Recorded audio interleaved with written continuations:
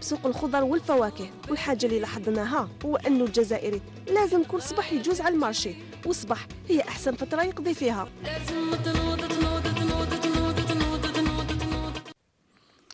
شكرا أمل عباس على هذا الروبورتاج الجميل رغم أنك لم تعزمينا على طبق طاجين الزيتون. أهم ما كتبته الصحف اليوم تسليم مفاتيح عدل مكتتبي 2001 في الفترة الممتدة بين الخامس والعشرين والواحد وثلاثين ديسمبر من السنة الجارية.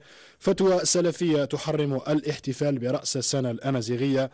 المعارضة تطالب بحكومة جديدة تشرف على الرئاسيات ومن يريد السياحة في الجنوب الجزائري فهو آمن. هذا أهم ما نقلته الصحف اليوم. روحوا نشوفوها مفصلة في معرض الصحافة.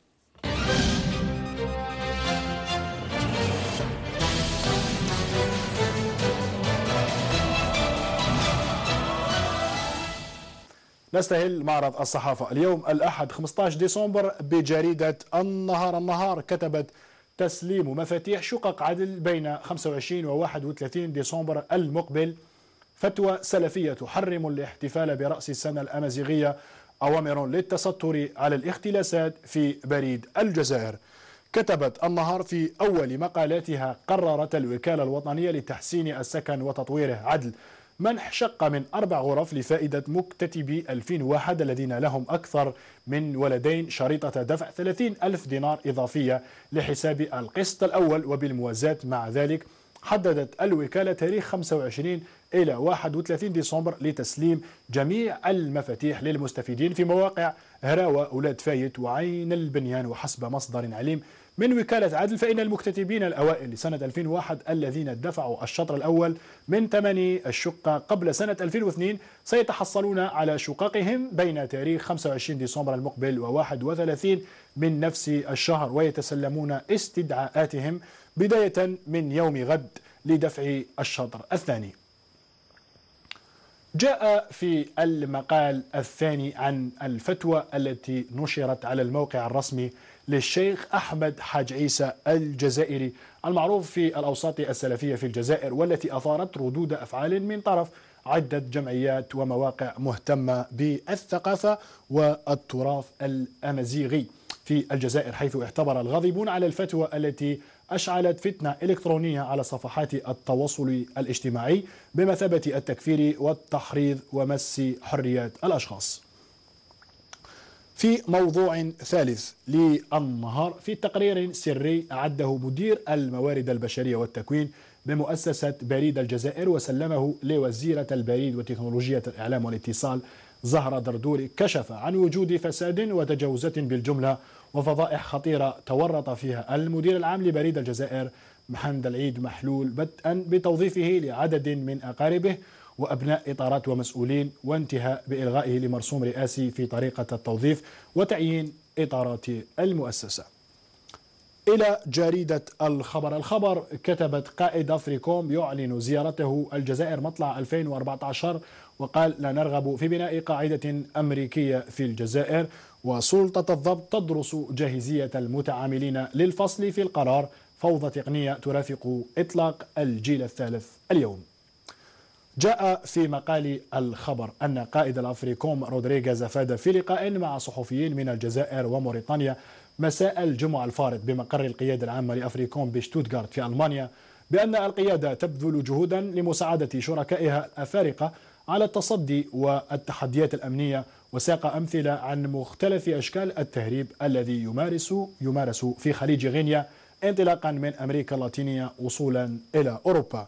وفي مقالها الثاني كتبت الخبر أن سلطة الضبط للبريد وتكنولوجيا الإعلام والإتصال أوفدت خبراء إلى متعاملي الجيل الثالث لتجريب مدى توفرهم على الحلول التقنية التي تتيح لهم التعامل برقم واحد يجمع بين الجيل الثاني والثالث على أن يتم البث في هذا القرار مع نهاية الأسبوع الحالي على أقصى تقدير وإلى ذلك سيكون على المشتركين اقتناء شريحة جديدة برقم ثاني للاستفادة من الخدمة التي ستطلق عمليا اليوم. جريدة الجزائر نيوز. الجزائر نيوز تساءلت في مقالها عن صنيعة رجال لحظة أقوياء أضاعوا نفوذهم أم قد سياسي بسبعة أرواح ما حقيقة الرجل. وكتبت أيضا في زمن متقارب غادر أحمد ويحيى قيادة الأرندي مع الرحيل المهين والقاسي لعبد العزيز بالخادم من على رأس الأفلان. وكلا الشخصين المتنافسين كل على طريقته لخلافة مرشح بوتفليقة ترك من ورائهما فراغا كبيرا داخل حزبيهما بحيث تحول إلى ضحيتين غامضتين لقوة خفية لم تعلن عن نفسها لكن في أي حال ظلت هذه القوة الخفية مرتبطة بالدائرة الضيقة المتحلقة حول الرجل الصامت عبد العزيز بوتفليقة. في ثاني مقالتها تحدثت الجزائر نيوز عن وفاة صباح أمس السبت المؤرخ وشيخ المؤرخين الجزائري الدكتور أبو القاسم سعد الله. بالجزائر العاصمة عن عمر يناهز الثلاثة والثمانين سنة بعد مرض عضال ألزمه الفراش وقد انتقل أبو القاسم سعد الله إلى رحمة الله بالمستشفى العسكري بعين النعجة أين كان يتلقى العلاج حسب مصدر طبي. وحسب مصدر من العائلة الفقيد فإن شيخ المؤرخين الجزائريين كما يلقب في الأوساط الجامعية والأكاديمية سيوار التراب بمسقط رأسه بإقمار ولاية الوادي. جريدة البلاد جريدة البلاد كتبت ونشرت تفاصيل وشروط مسح ديون وفوائد قروض شباب لونساج ولاكناك حيث كتبت البلاد مصادر موثوقة أكدت أن اللجنة التي كلفت من طرف الوزير الأول عبد المالك سلال بإعداد ملف كامل يحتوي على دراسة شاملة بالأرقام والتفاصيل الدقيقة حول ديون الشباب الذين تحصلوا على قروض بنكية بهدف إنشاء مؤسسات صغيرة ومتوسطة في إطار صيغتي لونساج ولاكناك. إلى جريدة المساء. جريدة المساء كتبت ميلاد لجنة إفريقية للتضامن مع القضية الصحراوية. تعززت حيث كتبت تعززت حركة التضامن مع القضية الصحراوية أمس بميلاد لجنتين واحدة إفريقية وأخرى دولية للتعريف بعدالة هذه القضية وبحق شعب الصحراء الغربية في تقرير مصيره بمختلف أنحاء العالم.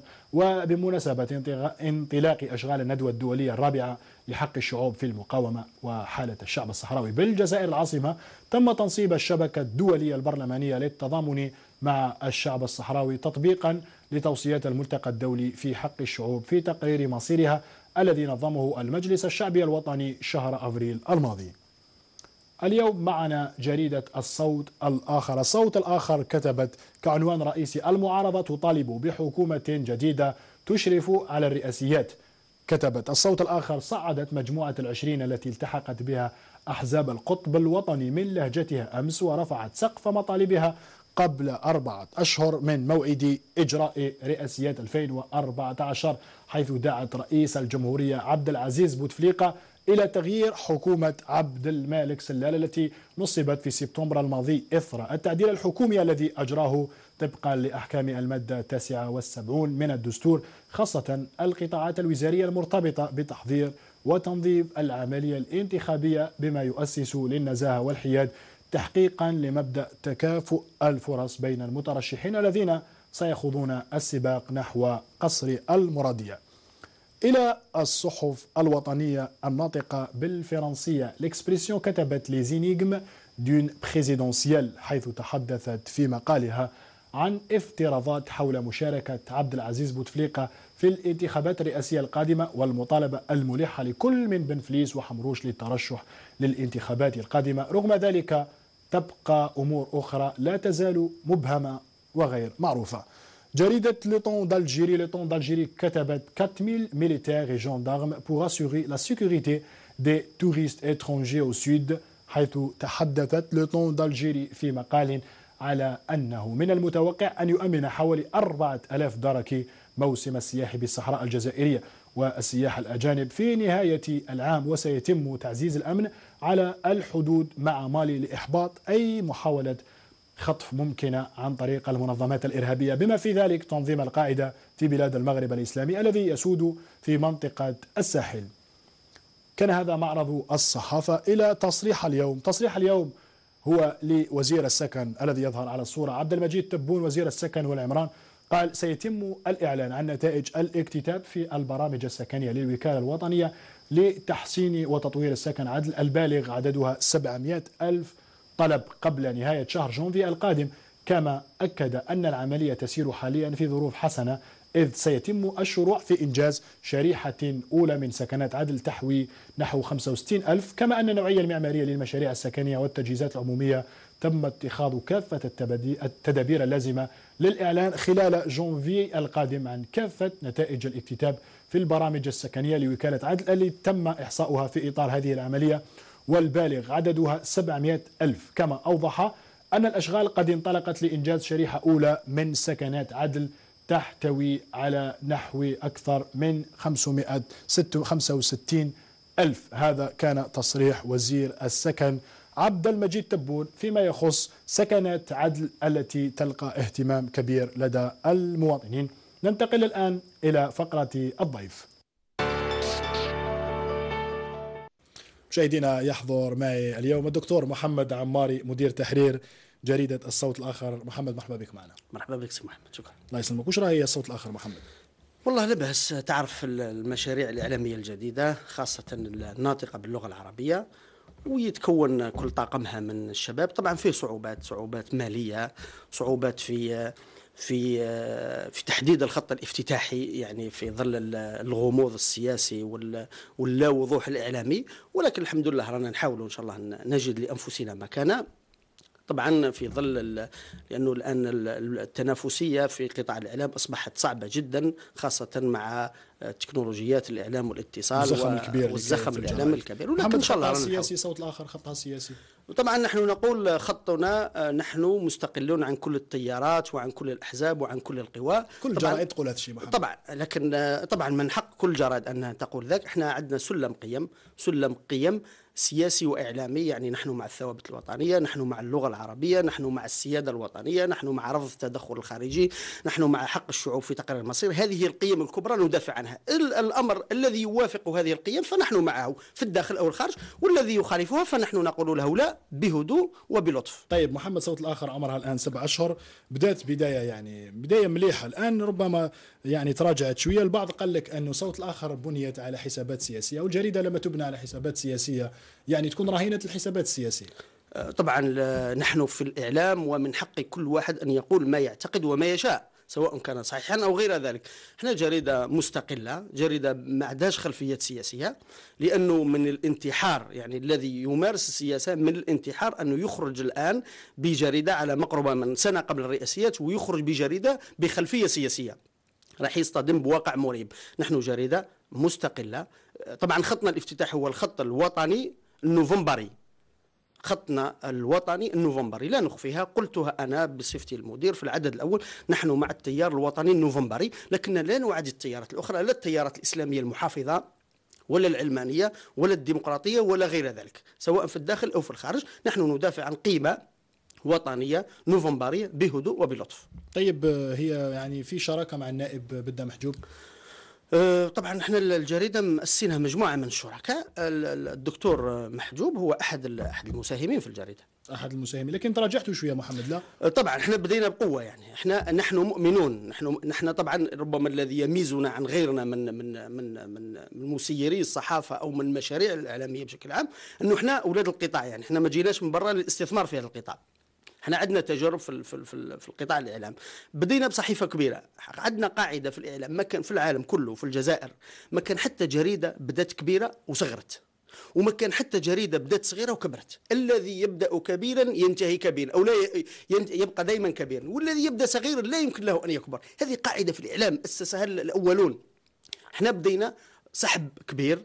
في ألو... في الوسط وفي الشرق. طبعا الآن عندنا أكثر من 100 يومية. هذه ال... ال... أنت على أدرى لأنك في القطاع. هذه السادة المشاهدين. أنه 100 يومية بعضها فقط لجرائد وطنية الذي يسحب في كل مختلف الجهات. شرق غرب وجنوب وشمال. طبعا قليل جدا هذا العدد. بعض الصحف هي صحف جهوية تطبع في العاصمة أو في الشرق. وتقول أنها وطنية. وتقول أنها وطنية. من أجل تحصيل الإشهار وغير ذلك وطبعا من حقهم. هذه كل كل مؤسسة وسياسة. إحنا بدينا بسحب وطني لأننا مؤمنون بأن مشروع إعلامي جاد يريد أن يكتب لنفسه الاستف... الاستمرارية والديمومة لابد أن يبدأ قويا. بدينا قوي. منتهى تقول في هذا الكلام ولكن فيه مصاعب مالية فيه